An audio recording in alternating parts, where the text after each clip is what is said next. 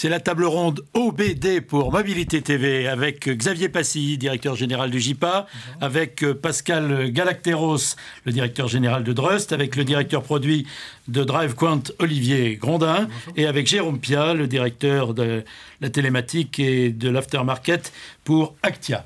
Bonjour. Est-ce que vous reprenez à votre compte la formule, peut-être un peu audacieuse, vous serez demain le garagiste de votre propre voiture. C'est peut-être pas tout à fait ça, mais euh, est-ce qu'on va vers ça?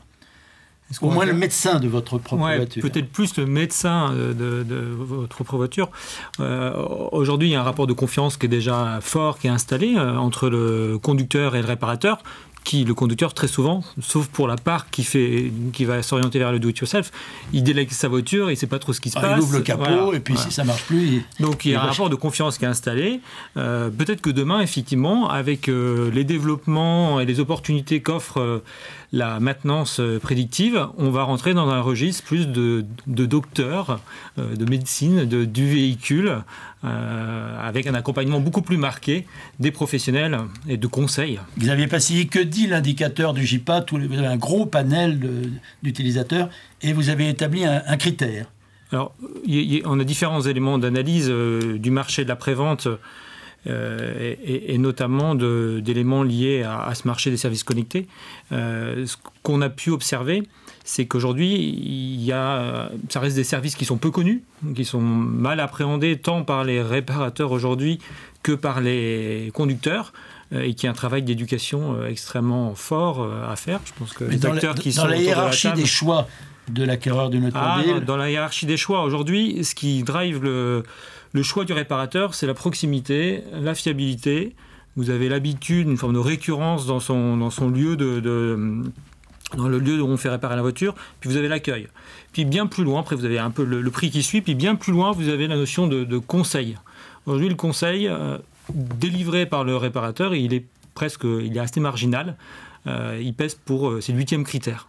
On peut imaginer là aussi qu'avec les services, euh, les services connectés, le réparateur puisse appréhender mieux la réalité de la voiture en amont et avoir une dimension de conseil beaucoup plus grande.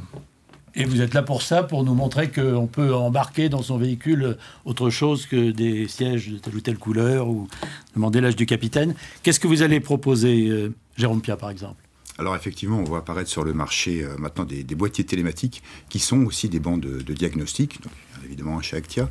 L'intérêt de ces boîtiers, c'est qu'ils vont pouvoir euh, remonter à distance des informations de maintenance préventive dont vous parliez, alors qui vont être de deux heures. D'une part, on va pouvoir soulever le capot à la place du conducteur, soit parce que c'est un particulier qui ne sait pas faire ou qui n'est pas intéressé, soit parce que c'est un véhicule professionnel qui est considéré comme un outil qu'on délaisse un petit peu, et être capable de surveiller pour le conducteur euh, des choses comme euh, euh, des niveaux d'huile trop bas, des niveaux de liquide de frein trop bas, etc.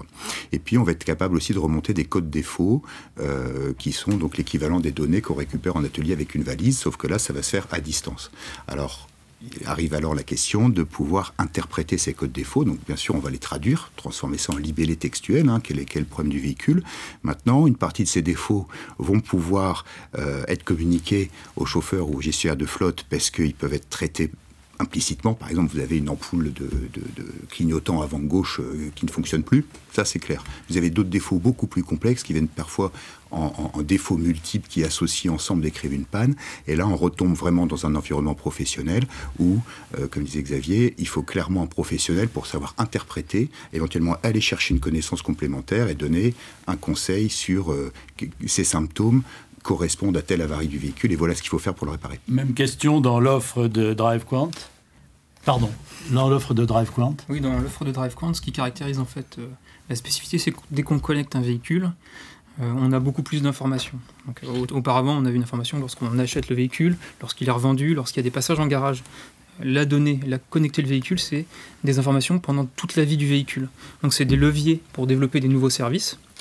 C'est des leviers qui vont permettre de mesurer l'état de santé de la voiture.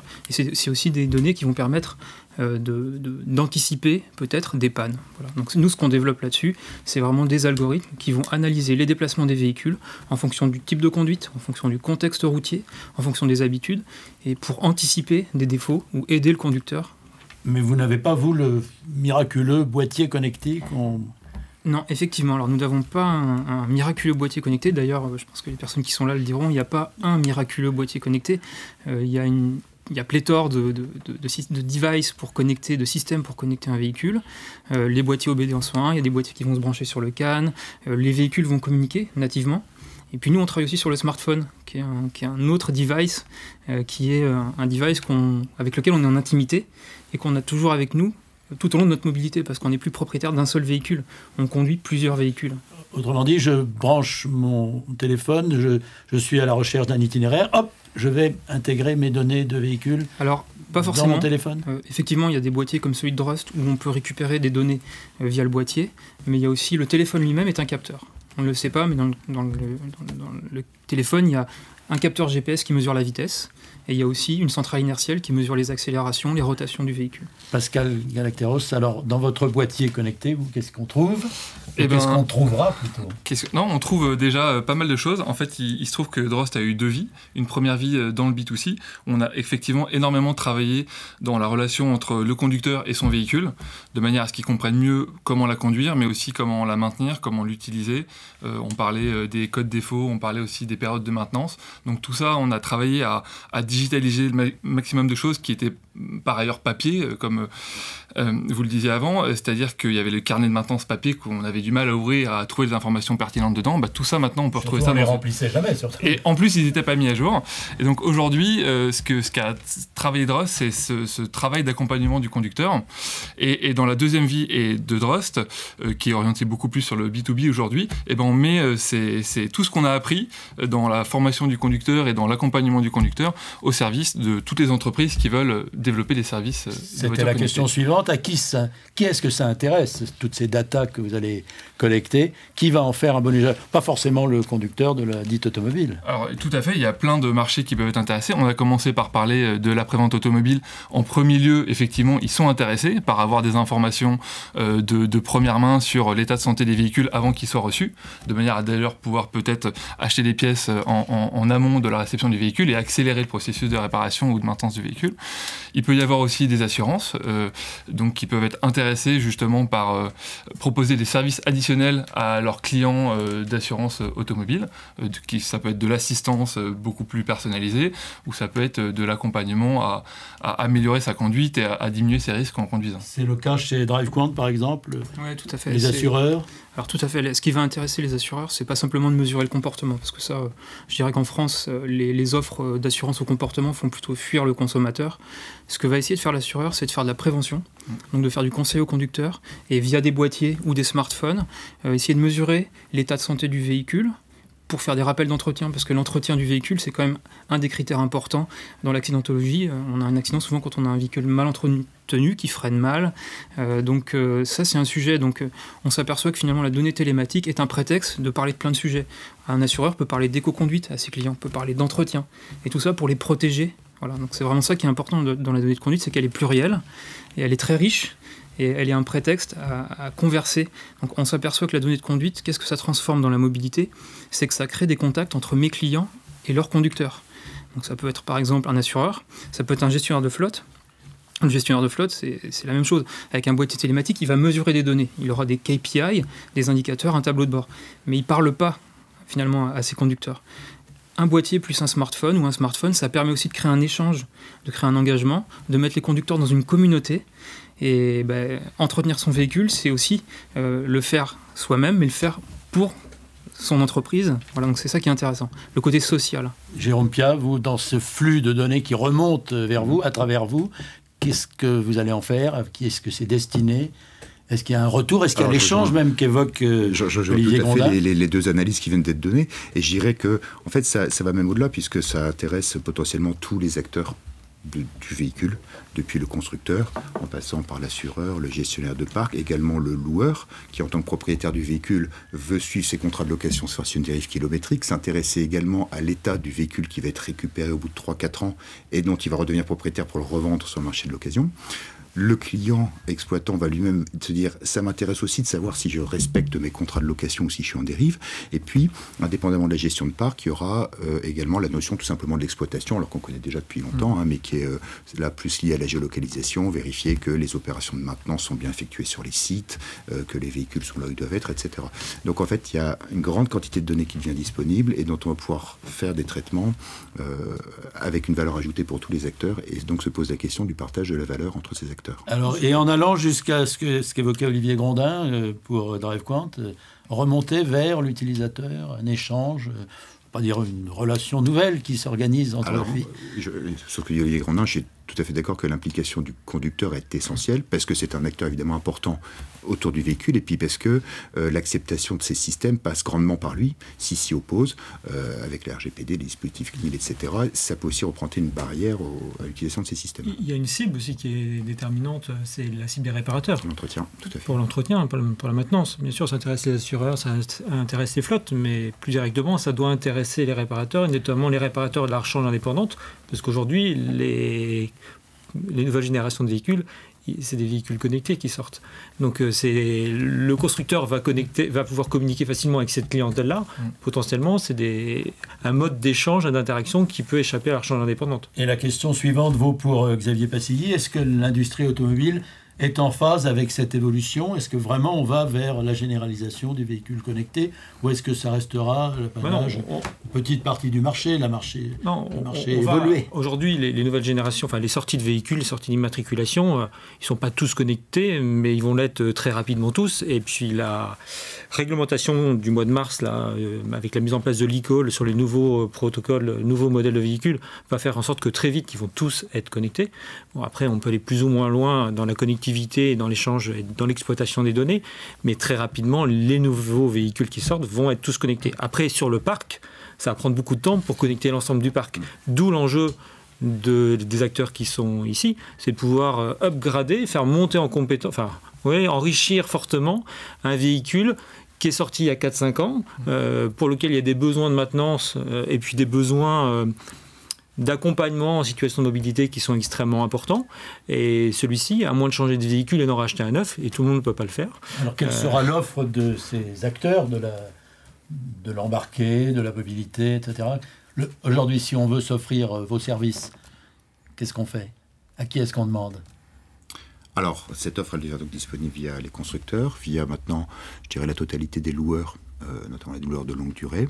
Et puis vous avez euh, évidemment les acteurs, euh, les télématiciens, les opérateurs télématiques historiques du marché, qu'on ne va pas citer ici, je crois que c'est interdit, mais que tout le monde connaît, qui peuvent vous proposer ces services avec le boîtier, son installation et le, traitement des données. Là, on est dans le VN mais si moi je veux ma séance de rattrapage pour ma vieille 4L d'avant-guerre. Je vous parle du VO. La vieille 4L d'avant-guerre, je pense que son électronique va être trop limitée pour sortir vraiment des données pertinentes. Mais euh, justement, l'idée, c'est que ces opérateurs télématiciens euh, sont capables de vous offrir des prestations dites de rétrofit, dans lesquelles on vous envoie un installateur sur votre parc, on équipe les véhicules euh, qui sont stationnés. Pascal Galacteros, le, le, boîtier embarqué, ça sera quoi demain? Ça sera ça tiendra dans la main comme le smartphone tient dans la main Bien sûr, d'ailleurs, euh, tout ce qui est solution télématique. On disait avant, c'est une valise pour le diagnostic. Oui, non, mais ça tient déjà dans la main. On aurait dû ramener un exemplaire pour euh, que, tout le monde s'en rende mieux compte, mais ça tient déjà dans la main, euh, bien évidemment. Et, en fait, demain, quand ce sera intégré à 100% par les, constructeurs, on va passer effectivement à une nouvelle ère où on n'aura plus besoin de mettre en rétrofit des, des, solutions tierces. On pourra directement se connecter euh, de manière standard, espérons-le, aux, bases de données des, constructeurs. Jérôme Pierre Alors ça c'est un vrai sujet puisque on s'aperçoit que dans l'univers du poids lourd, qui est un véhicule professionnels très encadrés. Euh, les constructeurs qui sont sept principaux se sont entendus pour créer des normes type FMS qui permettent de donner une passerelle ou de fournir des données dans un format standard, donc commun à tous les modèles de toutes les marques. Dans le cas du véhicule léger de l'utilitaire, c'est pas du tout le cas. Chaque euh, constructeur fait son offre euh, télématique propre sans concertation avec les autres.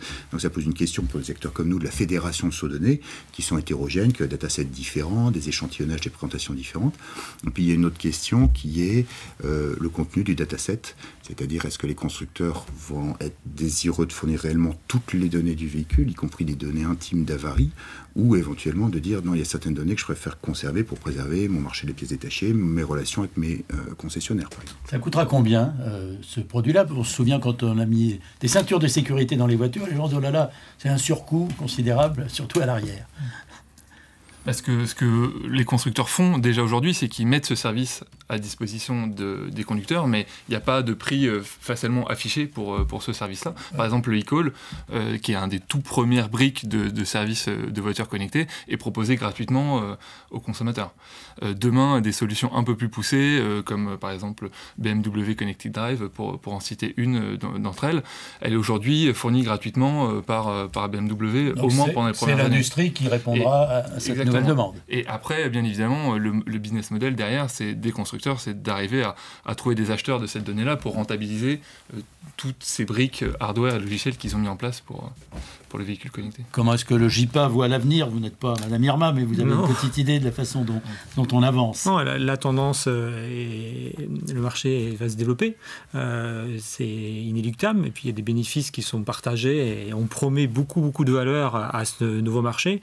Ce qu'il faut pouvoir fédérer, c'est il faut pouvoir prouver de l'utilité au conducteur d'intégrer une nouvelle application sur son smartphone, parce que souvent ça passe aussi par, euh, ça. Euh, il en a beaucoup déjà, et euh, lire les pannes sur son smartphone, c'est pas la chose qui a priori passionne le plus grand nombre des conducteurs. Et surtout, c'est une fréquence heureusement qui est rare, donc ce qui fait que votre appli, une fois que vous l'avez téléchargé, vous l'oubliez. Donc il faut pouvoir agréger d'autres fonctionnalités qui rendent l'application forte en termes d'attractivité. Euh, et après, donc il faut pouvoir fédérer les conducteurs. Après, il faut pouvoir fédérer les, les réseaux de réparateurs pour lesquels je pense c'est inéluctable de pouvoir euh, euh, upgrader et, intégrer ces, éléments-là pour pouvoir faire face à l'évolution du métier de la prévente à court terme. Séquence parano. Jusqu'où ira-t-on trop loin dans l'utilisation des données? À l'heure du passage aux 80 km/h, par exemple? Si ma machine dit toute seule Oh je vous ai vu, vous avez fait du 90, euh, là où il faut faire du 80. Alors, il y, a des réglementations euh, qui, précisent bien euh, ce genre de choses. On n'a pas le droit de, se substituer aux législateurs, en fait. Et donc là, en l'occurrence, on parle des forces de la police. On n'a pas le droit de, stocker des informations démontrant qu'un client ou un utilisateur a, enfreint la loi. Et on n'a surtout pas le droit de, le dénoncer, encore plus. Et ensuite, il y a ce qu'on appelle donc, le RGPD, dont parlais juste, avant, euh, qui effectivement limite l'usage des données euh, personnelles au strict service euh, qu'on déploie en fait. Si le ministère de l'Intérieur vous fait un petit clin d'œil pour que vous prêtiez les données pour... Aujourd'hui, on a tous un smartphone. Hein, ils pourraient faire le même travail avec le smartphone. J'entends bien. Mais là, on est sur les données de l'automobile. Euh, aujourd'hui, ils ont essayé, il n'y a, pas si longtemps de ça, de faire passer une, loi sur le sujet, euh, demandant à toutes les personnes fournissant des services de boîte noire de, partager ces informations-là euh, si c'était demandé. Et c'est une loi qui a été refusée, en fait, qui, n'est pas passée suite justement au mécontentement des consommateurs qui, ont bien compris leur intérêt dans, dans l'affaire. L'avenir vous appartient-il, messieurs? Alors je pose la question à chacun d'entre vous. Olivier Grondin, DriveQuant euh, bah, j'espère, que l'avenir nous appartient. Ce qui est sûr, c'est que euh, il est important euh, que bah, les données du véhicule soient exploitées pas uniquement par les constructeurs auto. Justement, il faut qu'il y ait des gens qui développent des services, qui apportent de la valeur, qui transforment aussi sociétalement l'usage du véhicule. Je parle notamment de toutes les sociétés qui développent du covoiturage, de l'autopartage. Ça transforme notre mobilité. donc ça, c'est très, important que cette donnée-là reste fluide, qu'elle soit exploitable par tous. C'est pour ça euh, qu'on n'a pas forcément choisi uniquement une technologie matérielle OBD euh, et qu'on s'intéresse aussi au mobile. Euh, donc oui, oui, je crois qu'il y a un essor. On est en train de voir un essor de, ces données-là. Je pense que le véhicule connecté, on, est vraiment au début. c'est des perspectives assez incroyables. Et oui, oui, on construit ça tous ensemble, effectivement. Après Olivier Grandin, Jérôme Pia alors oui, moi j'aurais rappelé, alors j'ai parlé sous contrôle de mes confrères, je vais peut-être me tromper, mais je daterai l'apparition du véhicule connecté, que ce soit par les constructeurs ou des boîtiers vraiment capables de dialoguer avec l'informatique de bord, à quelque part autour de 2014, donc quelque chose d'encore très récent. Avant, on mettait simplement des boîtiers GPS 3 fils qui estimaient des distances parcourues et des accéléromètres pour les virages et les accélérations. Donc il y a vraiment un virage technologique qui s'opère euh, dans la télématique et les données du véhicule léger qui est récent. Alors il y a eu comme toujours, beaucoup d'événements, de tentatives, d'expériences. mais aujourd'hui, arrivant en 2018, on commence à. Tous les acteurs, les professionnels de, de, ce, de ce, domaine ont maintenant une vision claire de qu'est-ce qui est possible, pas possible, et surtout ont eu le temps de maturer et réfléchir à des applications et comment les faire à partir de ces nouvelles données. Et je pense qu'effectivement, on peut avoir l'optimisme de dire qu'il y a maintenant vraiment euh, un démarrage fort qui va se faire sur ce, sur ce secteur grâce à, ce virage. Et pour Drust, Pascal Galacteros je, remercie Jérôme d'avoir cité la date, euh, l'année de naissance de Drust comme étant le point de départ de la voiture connectée. Euh, c'est juste une boutade. Mais donc, clairement, l'OBD, tout ce qu'on développe en ce moment, ça, c'est promis un grand avenir. on, parlait, on a beaucoup parlé de véhicules connectés nativement, mais ça, c'est encore assez longtemps. Ce qu'on fait, ce qu'on développe aujourd'hui sur la, télématique a encore au moins une dizaine d'années devant de, développement. Donc ça, il euh, n'y aura pas de souci. Et effectivement, l'avenir, il va se jouer au niveau du service qu'on apporte aux conducteurs. Je rejoins un peu les, avis de, tout le monde là-dessus. Voilà, merci messieurs d'avoir participé à la table ronde OBD pour Mobilité TV. Merci à Xavier Passy pour le JPA. Merci à Pascal Galacteros pour Drust. Merci à Olivier Grandin pour DriveQuant et à Jérôme Pia pour Actia. Merci.